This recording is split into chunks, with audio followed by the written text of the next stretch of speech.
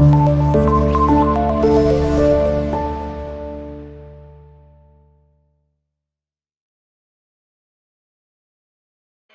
Friends ഞാനിപ്പോൾ നിൽക്കുന്നത് മലബാറിലെ തന്നെ അപൂർവങ്ങളിൽ അപൂർവമായി വരുന്നതും കൗസല്യാനന്ദനും മര്യാദാ പുരുഷോത്തമനുമായ സാക്ഷാൽ ശ്രീരാമചന്ദ്രൻ മുഖ്യപ്രതിഷ്ഠയായി കുടികൊള്ളുന്ന ശ്രീ മാട്ടുവായ് ശ്രീരാമസ്വാമി ക്ഷേത്രത്തിലാണ്.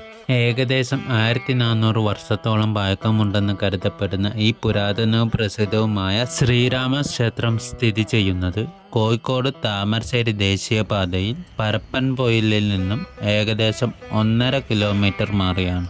എടവ മാസത്തിലെ ചോദ്യനാളിൽ ആഘോഷിച്ചു വരുന്ന പ്രതിഷ്ഠാദിന മഹോത്സവമാണ് ഈ ക്ഷേത്രത്തിലെ പ്രധാന ആഘോഷം. കൂടാതെ രാമായണ മാസം വൃശ്ചിക മാസത്തിലെ തൃക്കാർത്തിക നവമി വിദ്യാരംഭം കാർത്തിക നാളിൽ ആഘോഷിച്ചു വരുന്ന പൊങ്കാല മഹോത്സവം എന്നിവയും ഈ ക്ഷേത്രത്തിൽ പ്രധാന ആഘോഷങ്ങളായി ആചരിച്ചു വരുന്നു. മണ്ഡലകാലം വിഷു ദീപാവലി അഷ്ടമി രോഹിണി ഓണം എന്നിവയെല്ലാം ഈ ക്ഷേത്രത്തിൽ വിശേഷ ദിനങ്ങളായി ആചരിച്ചു വരുന്നുണ്ട്.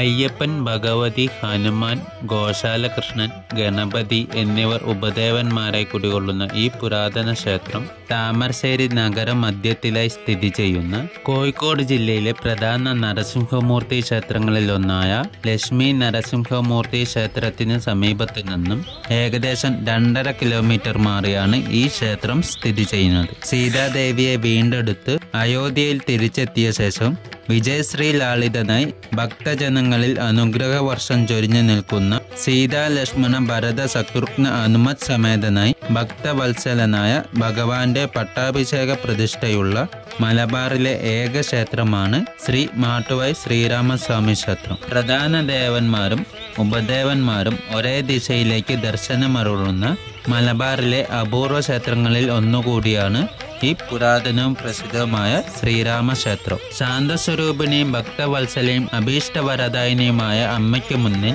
നിരവധി ഭക്തർ തൃക്കാർത്തിക നാളിൽ ഈ പുണ്യസന്നിധിയിൽ അമ്മയ്ക്ക് മുന്നിൽ പൊങ്കാല സമർപ്പിച്ചു വരുന്നുണ്ട്. വൈഷ്ണവ ചൈതന്യങ്ങളെ കരുതി വരുന്ന ഗോശാലകൃഷ്ണനും ശ്രീരാമചന്ദ്രനും തുല്യ പ്രാധാന്യത്തിൽ കുടികൊള്ളുന്ന മലബാറിലെ ഏക ക്ഷേത്രമാണ് ശ്രീ മാട്ടുവായ് ശ്രീരാമസ്വാമി ക്ഷേത്രം വൃശ്ചിക മാസത്തിലെ കാർത്തിക കുംഭമാസത്തിലെ ആയില്യം എന്നീ ദിനങ്ങളെല്ലാം ഈ ക്ഷേത്രത്തിൽ വിശേഷ ദിനങ്ങളായി കരുതി വരുന്നുണ്ട്.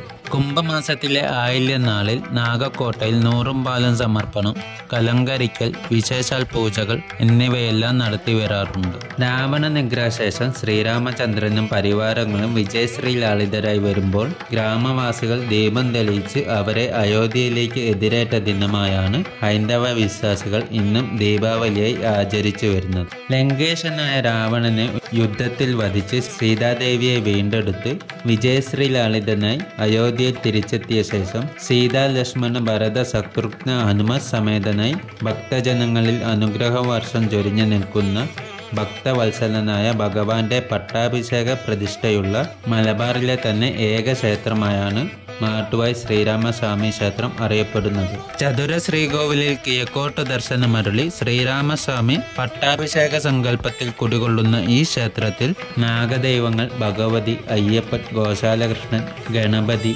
ഹനുമാൻ സ്വാമി എന്നിവരാണ് ഉപദേവന്മാരായി കുടികൊള്ളുന്നത്.